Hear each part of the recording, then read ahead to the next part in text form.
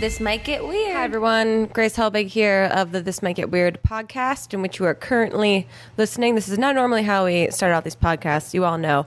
Uh, Mamrie and I have been traveling in different routines over the last week, so this is a pre recorded second half of last week's episode. And we just wanted to do this little um, heads up to let you know in case you didn't listen to last week's episode, which you should have. What the fuck are you? Doing, go do that because that might inform some of the things that we talk about in this episode.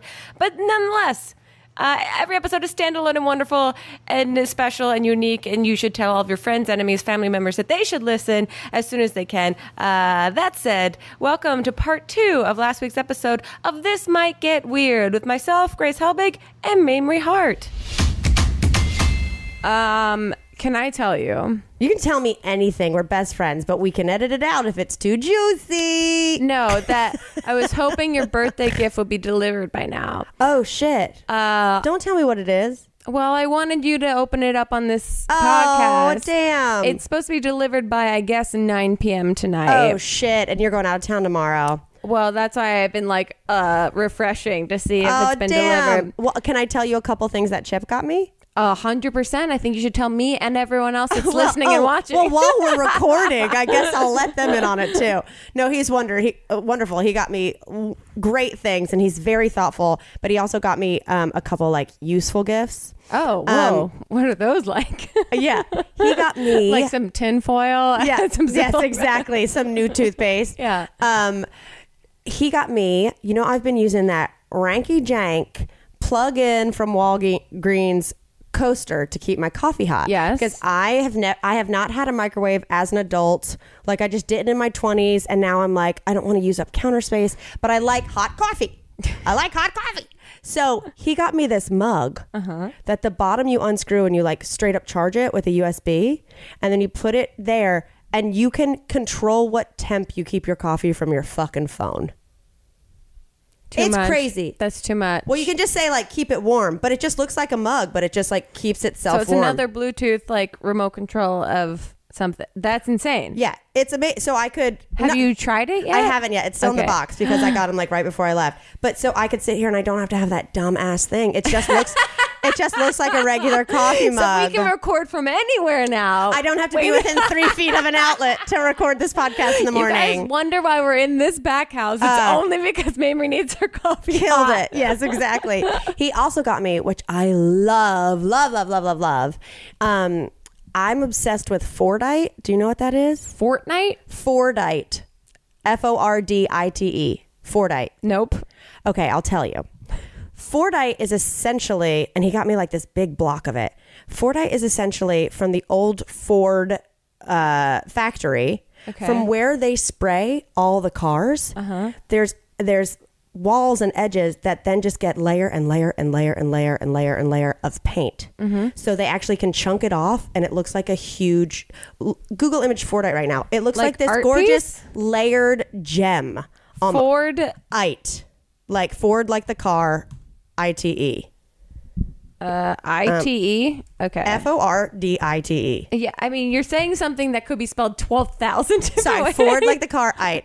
And it's just really cool. And I've always wanted a piece of it because there's a limited Oh. amount of it. Whoa, okay. Also known as Detroit Agate or, or Agate or uh, Motor City Agate. Uh, it's an automated paint which is hardened sufficiently to be cut and polished. So I have one that's like 900 layers. Whoa, it was formed from the buildup of layers of enamel paint slag Mm-hmm. on tracks and skids on which cars were hand spray painted. Told ya. Uh, which have been baked numerous times in recent times. The material has been recycled into jewelry. Yeah. Well, if, if you go back and you Google image it, he just got me like a raw chunk of it. Cool. So it's almost like a bookend. So I love it because sometimes I'll reference, I'll be like, oh, I like when people say they beat their face, I'm like, my face is a piece of Fordite right now. It's like 900 layers of makeup. And so I love it. So I thought that was a really thoughtful gift because he loves cars and I love that like cool, fun thing. Yeah. Also, these images, if you guys Google image search Fordite, all one word, uh, it's insanely beautiful. Yeah, so I love that. But here's the kicker. Uh oh. I'm flying to Australia on Saturday. Yes. That's why this podcast is. We're probably we're in the second half now. Yeah. Um. So by the time you're hearing this, I'm already in Australia. But he got me the thing that you talked about. What? What? The neck thing for sleeping on a plane. A turtle? He got you a TRTL? Dude. He got you a TRTL. Now you guys know this is a real thing. For those that are watching on the This Might Get YouTube channel, youtube.com slash This Might Get, you are seeing Mamrie in real time turning, turning on this I'm, turtle. tur- I'm also turning because I'm so excited. okay, have you tried to sleep face Yes. first? Okay, so we talked about it. This is a thing you put under your neck. That's like a concave thing. So because I fall asleep and then my you, head drops. Chip. My head drops and so now I can just completely fall asleep like I'm wearing a neck brace. Like, if, but I have to give It's credit- incredible. I have to give credit to Nikki Glazer who promoted this on her Oh, Instagram really? story, and she was like, "I know this seems stupid, but it helps so much." And she travels all the time. and I'm then so excited about I it. Full on, yeah, ordered that. because I never like with a regular neck donut. I, n- I don't want to sleep kink to my left or kink to my right. I want to Oh. sleep head down every also, time. I sleep when I put my head back. You know, you've Yeah. videoed me, and like I gape mouth. Like I need to have my jaw Mm. Yeah. shut. I wanted to throw a lot of shit in there before. hey, Haven't been able to. Um, but so I thought those were like that's a great gift. some good youth, youthful, useful, not youthful. It was my 36th. Um, I saw a great bumper sticker today. I love that you're still refreshing your Amazon I orders. know. I'm like, it's gonna get it's gonna get delivered an hour after we. Damn, you uh, can stay and hang out. Um, I saw a bumper sticker today on the way home from the airport that said, Oh, "It said, don't tailgate me. I'll flick a booger on your windshield. don't don't don't tailgate me. I'll flick a booger on your windshield. Like if you drive too close, I'm gonna flick a booger on your windshield." I wanted to see if she'd really do it. That's you know, what I mean. I feel like that's not a threat. That's Like- a challenge. put your money where your mouth is. Actions speak louder than bumper stickers. Yeah, totally. I want to see that bug. Also, yeah. How uh irregularly are you bl- blowing your nose that you got? You just have bugs on deck. Or how strong is your flick? If you know it's gonna stick, like because if you're flowing, if you're going, now you're just making a new bumper sticker. You're just making another bumper sticker. if you're a dick, I will flick, and it will stick. You prick. Um, If you don't think I can flick, watch it stick. uh, and then you're gonna lick. No, but if you can flick a booger, like driving on a highway and it sticks to a windshield, like that's like a butterfly in a hurricane. You know, that's a lot of wind. But that's also like we recently said this on Brittany Furlan's podcast how we got spit on in a taxi cab, Yeah. and that honestly like great directional like that's impossible to Mm-hmm. But a booger. I- yeah, yeah. Sorry. Anyway, I like we said, I am now in my later half of 30s and I'm still getting surprised by bumper stickers. So I was extremely excited to see that bad boy. Fucking rocked. Okay. the because I knew we were podcasting like a longer version tonight, obviously, and we both have been like, we don't know exactly how many stories we have. Yeah. I looked up a couple quizzes. Oh, okay. Uh, tell tell me I thought we were going to re- retire quizzes after I pranked you so hard in Dallas. Well, now, I- now I need to get back to what they're made for, which is the boring true- our audience. Well, just kidding. therefore, I listened to. There was just one bitch on a review on her iTunes that was like, I hate animals. oh, great! Yeah. I'd love to talk to her Yes, at length totally. about what she enjoys in the rest of the world. Uh, we don't have to take any. No, no, no. I want to anyone's- read. I want to read the what are the different ones. Here are your options. Ready? Okay. Build a fall aesthetic, and we'll guess your age and height. Okay, but not weight. Eat a bunch of food, and we'll tell you which decade you should have been born in. Mm, mm-hmm. And those are the only two. Oh. because the rest are about a bunch of TV shows that we don't know anything about, and a bunch of like, you know, Here's what I'm going to say, and we Yeah. have friends at BuzzFeed. yeah. Their quizzes are getting lazy. Okay. Do you want to find out if you're the Kermit or Miss Piggy in your relationship? No, because I know I'm Miss Piggy. Well, then, okay. Never mind. And that's all my notes for the podcast. Oh no, no, no! It was just because one of the quiz was pictures, and the other quiz that's bullshit. Being like, we'll tell you what you should have been born in. It's like you're supposed to be magic. Oh, no. That's why I want to figure out if we can, like, uh, assume a certain age that we're going to try and pretend what they would assume were. I am confused at what you just said. That's every BuzzFeed feed. I want to see if we could ask BuzzFeed if we could collab on a quiz. Oh yeah, have you ever taken the "Are you Grace Mamrie or Hannah" quiz? I have. That was oh mems. That was so Oh, fun. So long Um, ago. can I tell you a fact? sure. Oh wait, hold on. First of all, speaking of pictures of things, Okay. did you see Britney Spears Instagrammed Mm. earlier this week, and it was just a stock image photo Yeah. of peanut Yeah. butter cup ice cream, and the caption was "Give me more." And then she also didn't crop out the full stock image photo. There was.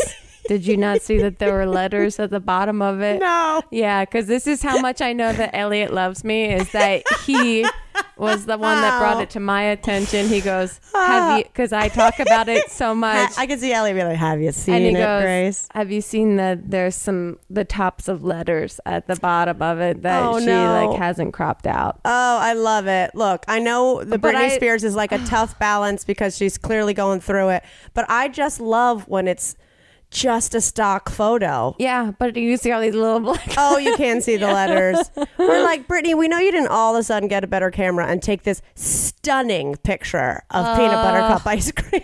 I love it. Today we got some support from DoorDash. Do you have a long day at work, a tough day at school, still stuck at the office? Well, then treat yourself to a meal that you deserve. Have your favorite restaurants come to you with DoorDash. They connect you with your favorite restaurants in your city. Ordering is easy. You open the app, you choose what you want to eat, and your food will be delivered to you wherever you are. I mean, how much easier can it get? Not only is your favorite pizza joint already on DoorDash, but there's over 340,000 restaurants in 3,300 cities. If you're a number person, crunch those numbers. Don't worry about dinner. Let dinner come to you with DoorDash and with door uh, to door delivery in all 50 states. Again, they have door to door delivery in all 50 states and Canada. You can order from your local go tos or choose from your favorite national restaurants like Chipotle, Wendy's, Chick fil A, Cheesecake Factory. The Cheesecake Factory is available, and right now you guys can get $5 off your first order of $15 or more when you download the DoorDash app and enter promo code TMGW. That's $5 off your first order when you download the DoorDash app from the App Store and enter promo code TMGW. One more time, promo code TMGW for $5 off your first order from DoorDash. If you're still using one of the quote big wireless providers in 2019, have you asked yourself, what are you paying for? Between expensive retail stores, inflated prices, and hidden fees, you're being taken advantage of because they know you'll pay.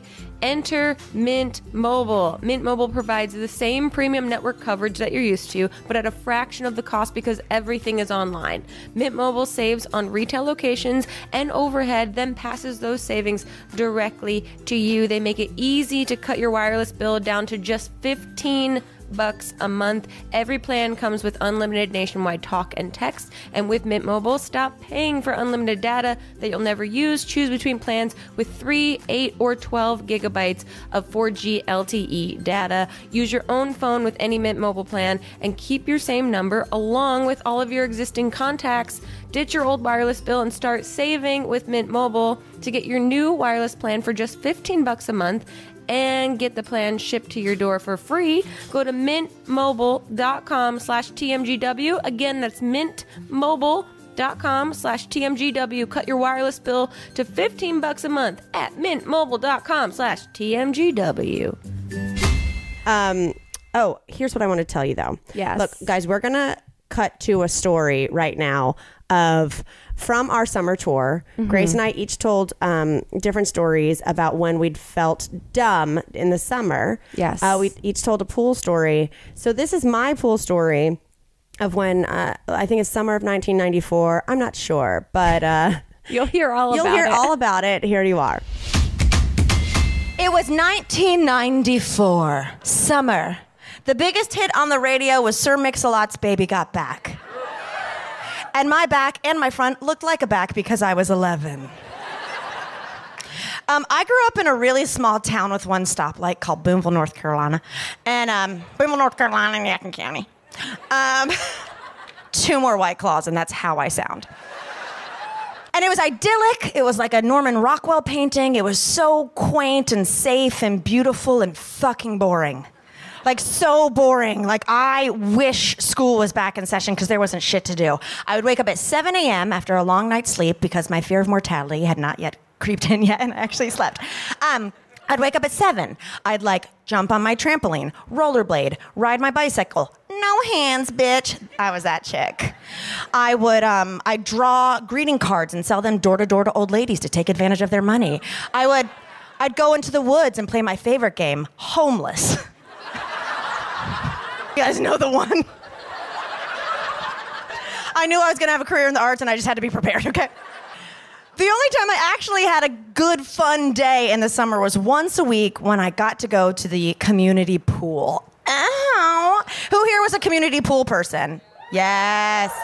Who here, like, was part of a country club or like a membership pool? Yeah, you can say it. No, we're all friends here. Who here had their own pool?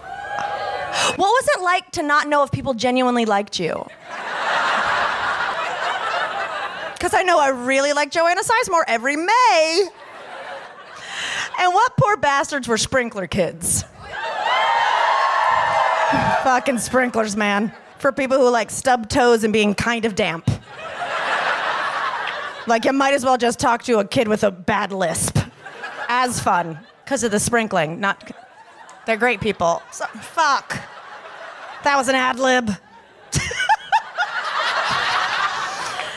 No, every so often I was like, well, here's the deal. I was best friends with my neighbor next door, Lauren, and her mom was a stay-at-home mom. My mom would be teaching summer school because she was a teacher and she worked non-fucking stop. But like once a week, we could annoy her mom enough to bring us to the pool. And there was one fated day that I knew was going to be really special because Lauren and I convinced her mom to take us to the pool, and already it was off to a crazy start. Because on the way there, on our little two-lane road, we were 10 miles from the pool, by the way. This is why it took so much convincing.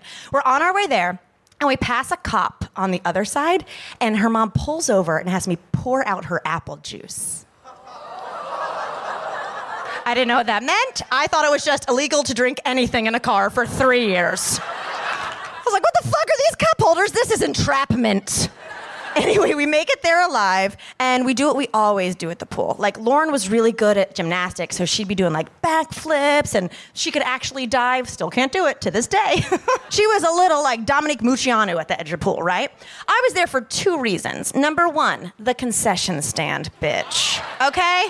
I had $10 when it was like a pool day that my mom would leave me. And I know it was $2 to get in the pool. And then I took that $8 to concession stand and I would haggle with that teenager like I was in a spice market in Marrakesh.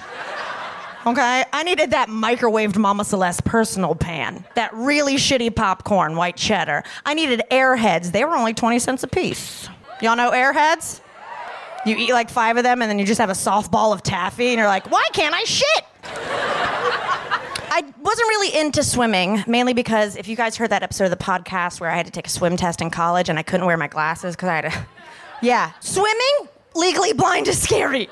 And I was just as blind when I was a kid. So when I'd be convinced to go into the pool, I'd just be in the corner, like doggy paddling. And every time the lifeguard blew his whistle, I'd be like, I'm sorry, sir, just in case it was me.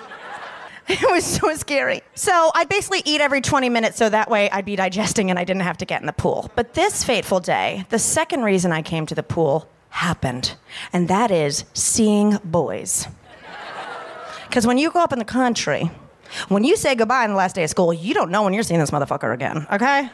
You don't know because this was pre Facebook, pre Instagram. You didn't know if your crush was on a Disney cruise. You weren't seeing him till September, okay? You weren't seeing the meet and greet with Mickey. But on this day, we looked over. I had a blue airhead just hanging out of my tongue, my mouth, like I was Bean's fucking heart.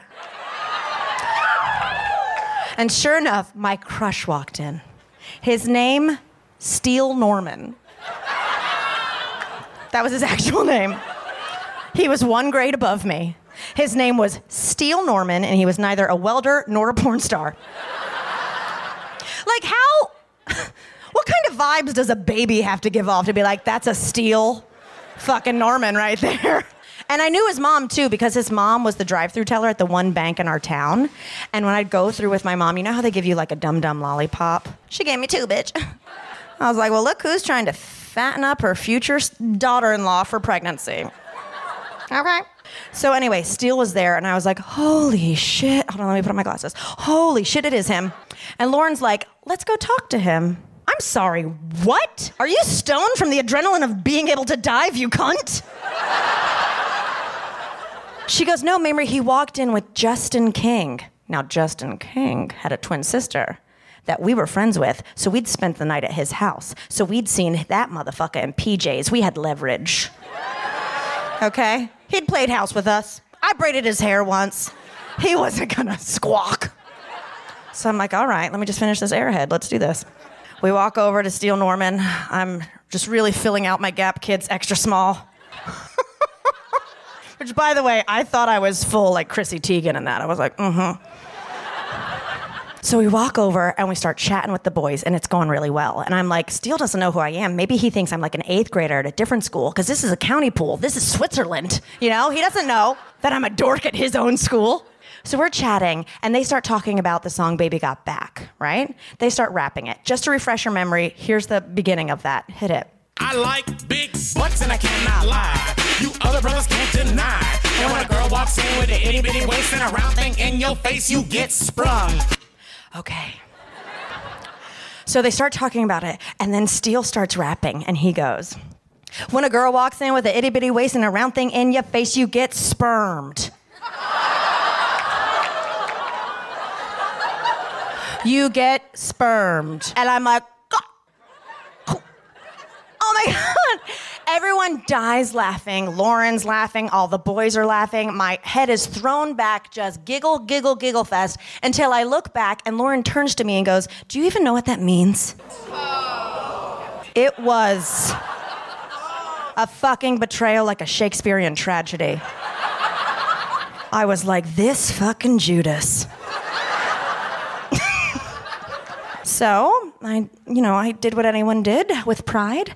I, um, I laughed it off. I looked at her and I said, "You know what, Lauren? My pizza's ready at the concession stand." And I ran off as fast as I could. I got my pizza. I like ate it in the bathroom. I called my mom to pick me up because once again, apple juice. You know, like I was being safe. I went home and I pulled out the S Encyclopedia Britannica which led me to the P. Encycl- Who here saw their first dick in an Encyclopedia Britannica? I'm just saying, it's a way to, t- it's like counting rings on a tree. You can tell someone's age. And I saw that penis in there. And I realized I wasn't ready to be a fifth grader and, and I wasn't going to be with Steele. No. I decided instead I was going to take a chance, which was the name of his younger brother who was a year below me and who I knew I could get. And that day was the third most embarrassing time of my childhood. Number two was when I would go back to that Encyclopedia Britannica so much that my mom asked me why there was a bookmark in it. and number one is when I just kicked panties out of my pants in front of 450 people. This week we have some support from Function of Beauty. You guys all know, Mamrie and I talk about our hair all the time. It's very different. We all don't have the same hair, so why should we all use the same shampoo and conditioner? Function of Beauty brings you shampoos and conditioners that are customized and individually filled just for you. Most drugstore brands only address a single concern like volumize or strengthen, but with Function of Beauty, you can choose up to five hair goals to add to your formulation. You select your color and fragrance. Uh, you can opt for dye free and fragrance free. They also never use sulfates, parabens, phthalates. Um, you, if you guys care about phthalates, you know how to say it. Mineral oils or any other harmful ingredients.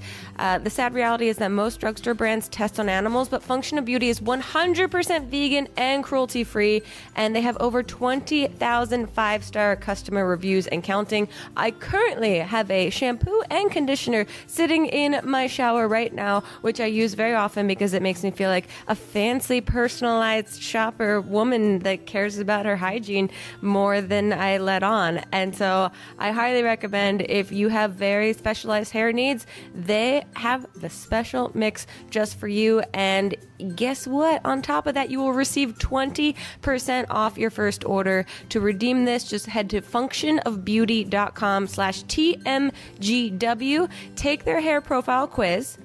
Go to functionofbeauty.com slash TMGW. Take the quiz. Get 20% off your custom formula. Again, 20% off your first order by going to functionofbeauty.com slash TMGW. Wow, what a story. Uh, speaking of ice cream. Yeah, I mean, and pizza and airheads and boners. Um, but here's the thing: is Grace's bit had visuals to it. Yes. That so we couldn't we can't play it here because you'd need to see the payoff of the Yeah. visuals. But one of the visuals was the honeycomb guy, Yes. the briefly employed honeycomb maniac. Yeah, I don't know. Uh, I don't know how to describe him other than um, like gritty meets Guy Fieri meets like electrical outlet meets like you know myself currently. Oh, so good. But I learned that that honeycomb spokesman's name was the Craver. That's his actual name. That's his or name. its actual its name. actual name is the Craver, okay. and he was voiced. Get this by the same man who's the Kool Aid Man. Wait, what? Both of them had voices. Yeah, because the honeycomb guy was like, "Ah, look at me, Yeah. I want some. Wow, I could." That was. Are you sure you're not the Craver? That was freakishly good. That was freakishly good. And th- he was voiced by a man named Frank Simms, who's also the Kool Aid Man, wow. and also sang backup on several David Bowie songs.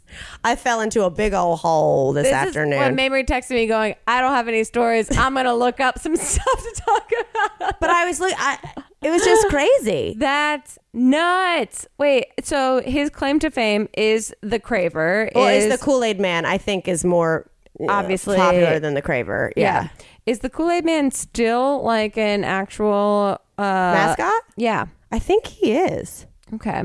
The I don't think Kool Aid has to advertise anymore. Maybe they do. I'm, I But. I feel like they advertise on like stations we don't actually stations on channels we don't actually listen to. Well, see, that's what I'm curious about. Is like who's the major mascot now? Because Mm. Well, it's definitely Kool Aid.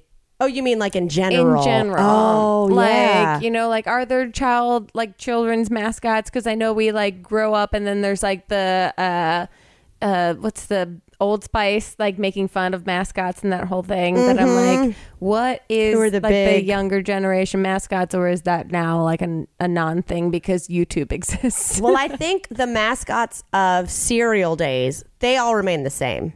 yeah, They're yeah. all the same General Mills. But yeah, I don't know. Like, you know, the short lived ones of like the Dunkaroo kangaroo. Like, he was a badass. But then Oh. Dunkaroo's like, you know, hit the skids. Okay, I'm looking up most popular mascot or most popular food mascot 2019. Do you think they have award shows? I That would be an amazing thing to attend. um if they can have the Webbies, they can have the Truly. Oh my God. They have to, or even just like mascot awards for uh for sports teams, Oh like man. their version of the ESPYS. Oh, because uh yeah, Gritty's birthday. I saw. Uh, yeah. He's a poet. I, I, Did I- you did you read the poem? yeah. He only talks in like riddles and poems. See, I've never actually listened to Gritty speak, He doesn't speak but that I've heard. he doesn't speak. But he's he released a poem earlier today.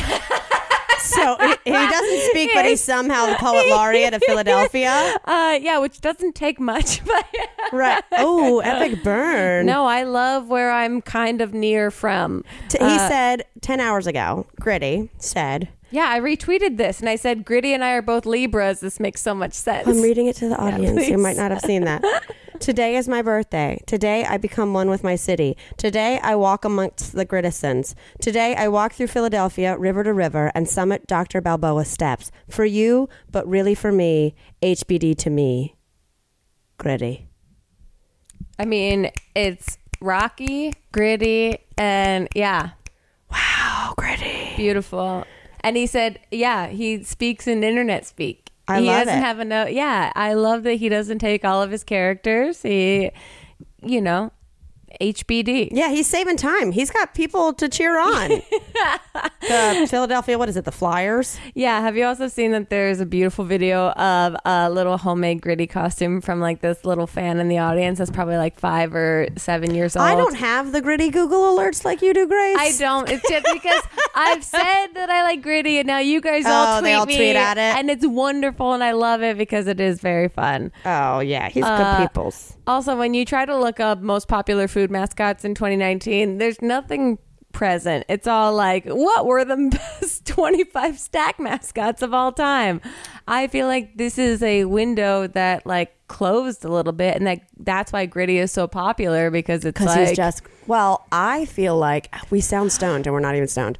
I feel like the Craver could definitely be like an uncle to Gritty. oh, a hundred percent. I don't know what uh, what happens after we've recorded for 50 minutes, but we get on This some is why we don't go after 40 minutes, you guys, because nothing is guaranteed after 40 minutes. We're talking about who's related to Gritty. Uh, who would the Craver have to fuck to make Gritty happen?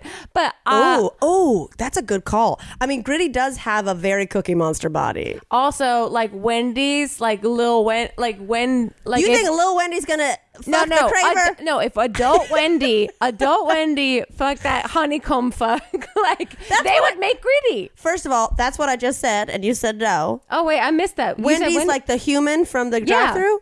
You think Dave would allow that? Where's Dave? He's busy. He's doing. He's being the Colonel Sanders. He's moonlighting oh my God! as the You Colonel. think he's? Yeah. You think he's going as the Yeah. Colonel Sands? He's doubling down. Holy That- He's also shit. working for Burger King as a double down. that was KFC, but I like that wordplay. I like that wordplay. You guys, we're gonna get the fuck off of here because we are not making any goddamn sense.